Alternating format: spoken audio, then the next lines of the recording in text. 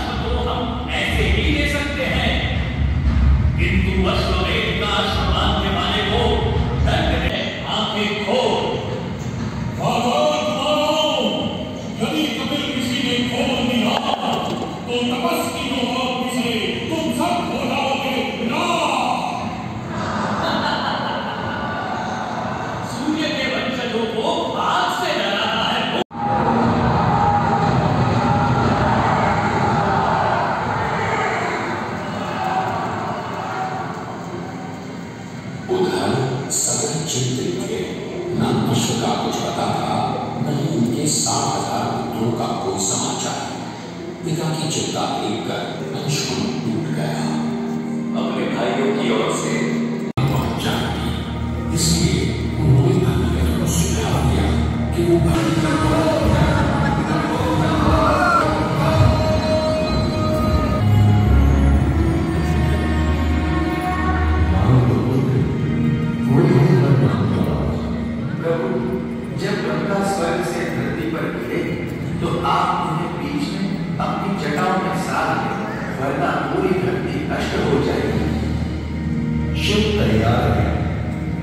何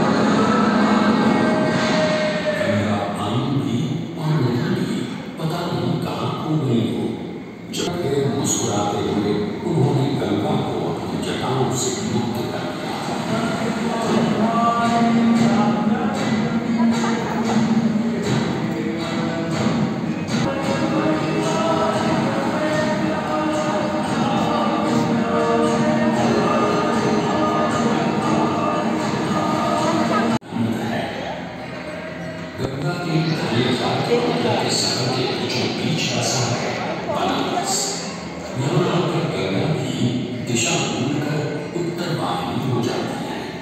और अक्सर पाठ बदलने वाली गंगा ने आज तक कभी बनारस का दामन नहीं छोड़ा है।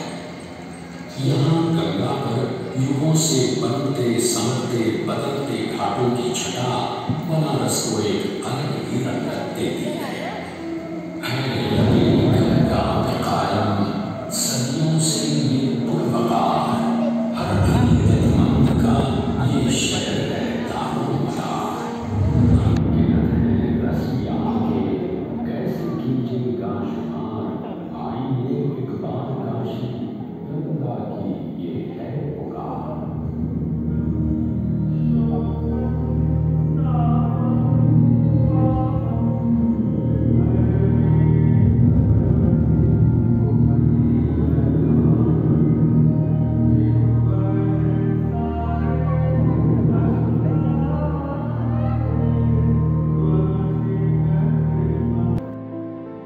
शो के बाद आपको दिखा रहे हैं, यहाँ पे दर्शाया गया है बनारस के घाटों की सीढ़ियाँ, गलियाँ बनारस की और बनारस की विश्व प्रसिद्ध पान की दुकान। तो यहाँ पे खास तरीके से बनारस के इतिहास को दर्शाया गया है कि बनारस की इतिहास क्या था, क्या गौरव था बनारस का। आप यहाँ आइए, ज़रूर देखिए। बहुत ही रोचक जानकारी है। साहित्य और पत्रकारिता। बनारस में निर्मित आपको बनारसी साड़ियों का उत्पादन कैसे होता है, वो दर्शाया गया और उनका क्षेत्र दर्शाया गया है। बनारस एक संगीत नगरी के रूप में भी है, वो भी दर्शाया गया है, आप देख रहे हैं। यहाँ पे कौन कौन से संगीत के वाद्य यंत्र हैं। और यहाँ के प्रसिद्ध लकड़ी के खिलौने जो कजुआ में निर्मित होते हैं। बाकी चीज़ें आप देख रहे हैं अष्टातु से निर्मित वस्तुएँ, मूर्ति। और ये देख रहे हैं, पीतल और तांबे से बनी हुई नक्काशीदार कमंडल। और आगे दिखा रहे हैं आपको ये मीनाकारी मोर। बाकी आगे दिखाते हैं आपको इसी जगह पे लेजर शो चल रहा था। अपने चलते हैं। बनारस मंदिरों तथा घाटों की नगरी होने के साथ साथ विश्व की प्राचीनतम शहरों में से एक है, जिससे यहाँ पे आस्था और आध्यात्मिकता का जुड़ाव एक अलग ही है। और आप आगे देख रहे हैं यहाँ के इतिहास को दर्शाता हुआ। और हमारे बनारस के लाल बहादुर शास्त्री जी, जो कि दूसरे प्रधानमंत्री रहे अपने देश के।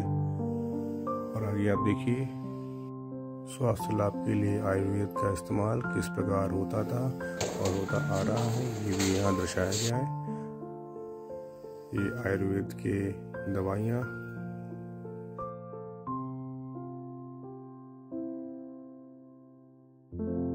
आप देख रहे हैं, बनारस के घाटों को जानने के लिए कुछ रोचक तरीके को अपनाया गया है। आप देख रहे हैं। और दिखाते हैं यहाँ का हथकरघा उद्योग को। देखिए किस प्रकार से ये बनाया जाता है। बनारसी साड़ी को बनाने में जिस उपकरण का इस्तेमाल होता है आपके सामने दिखनी यही है। बाकी और आगे बैठे बच्चों को अच्छे समझने के लिए वाद्य यंत्र कैसे बच्चे समझ सकते हैं? यहाँ पे छूने से वाद्य यंत्र दिख रहा है।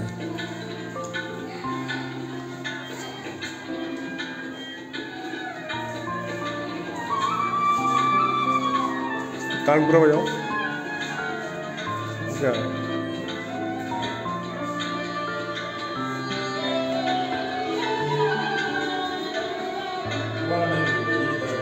अच्छा इधर हो जाओ। अच्छा ये जो उबड़ा हुआ, जो।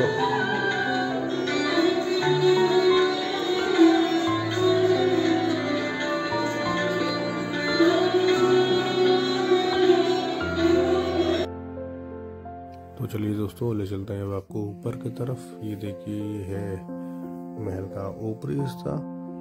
अब इन सीढ़ियों के रास्ते से चलेंगे ऊपर। आपको दिखाएँगे कौन कौन से उपकरण, यंत्र पहले के ज़माने में बनाए गए थे। जिससे समय का आभार होता था कि कितना बज रहा है कौन सा दिन है कौन सी तारीख है। ये घड़ी शिवम, देखो, ये घड़ी है।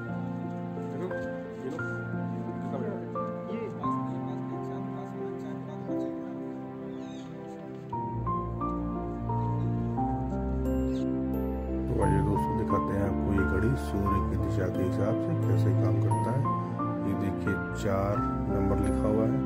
आगे आधा और वहाँ, ऊपर पाँच। तो देखिए, चार, पाँच, दस मिनट, पंद्रह मिनट, बीस मिनट, पच्चीस, तीस मिनट।